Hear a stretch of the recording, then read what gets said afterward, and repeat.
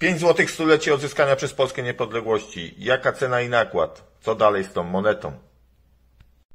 Cześć, witajcie. Na dzisiejszym odcinku zaprezentuję Wam kompletny rocznik monet obiegowych po denominacji roku 2018.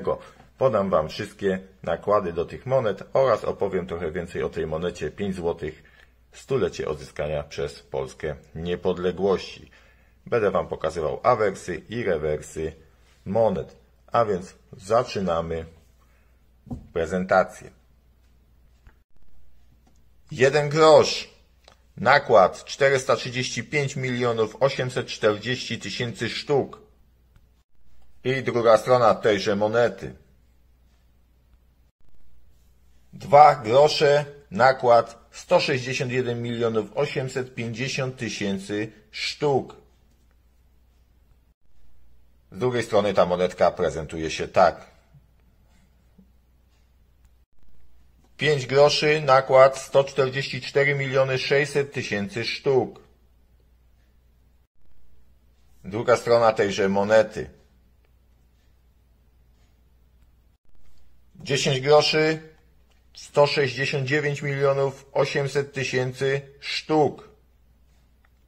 Stop miedzioniklowy oczywiście. I druga strona tejże monetki.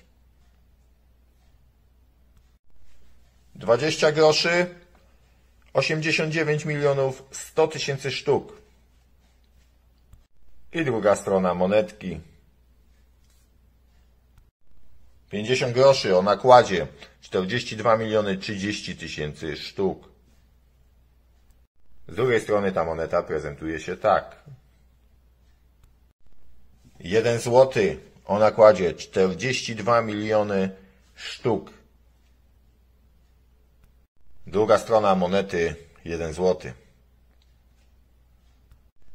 2 złote 37 milionów 425 tysięcy sztuk. Druga strona monety 2 złote. I moneta 5 złotych w stulecie odzyskania przez Polskę niepodległości. Monetka wybita o nakładzie 38 milionów 424 tysiące sztuk.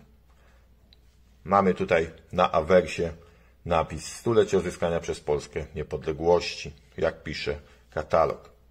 Czy ta moneta jest coś więcej warta niż nominał, czy będzie?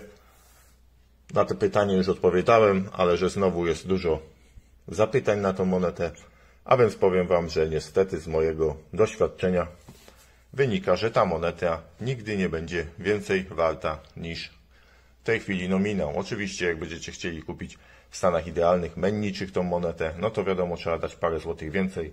Nie wiem ile tam teraz nawet na internecie kosztuje, ale ona ma tak duży nakład i ludzie ją wszyscy odkładają, że nie ma szans, żeby ta moneta cośkolwiek więcej kiedykolwiek była warta.